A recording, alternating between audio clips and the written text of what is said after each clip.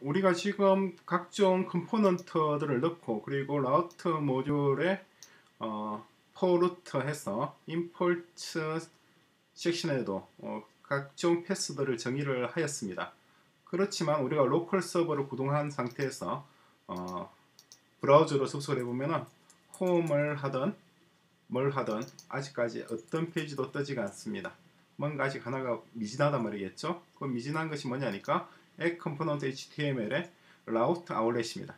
이 router outlet은 Angular가 제공하는 하나의 select죠. 이 select를 이용하게 되면 다시 한번 들어가 보겠습니다. 이번에는 아, 이미 post가 들어와 있네요.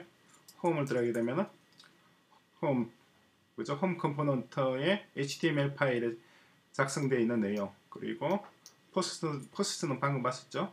또 followers 같으면 또 followers에 해당되는 이런 페이지들이 쭉 나타나게 됩니다. 그렇죠?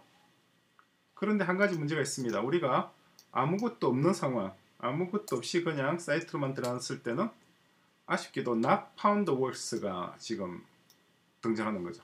원래 not found works라고 하는 것은 우리가 정의되지 않은 페이지들, 이런 페이지 들어갔을 때 이것이 나타나야 되는데 홈에서도 아무것도 없는 상황에서도 이게 지금 우리의 메인 주소잖아요. 메인 주소에서도 이게 나타나죠. 그 이유는 우리가 M 모듈에 홈 컴포넌트를 홈에만 지정해놨기 때문입니다. 그렇죠? 따라서 추가적으로 하나 더 만들어주면 이 문제는 해결됩니다.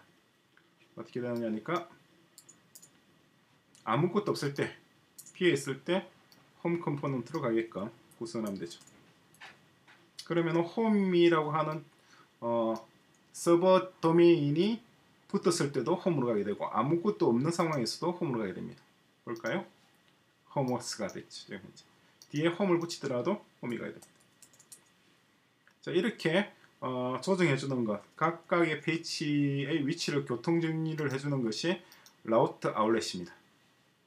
물론 app component HTML 이 위치를 잘 보셔야 됩니다. app component HTML의 역할은 여러분 잘 아실 거라고 생각 믿고 더 이상 설명을 하지 않겠습니다.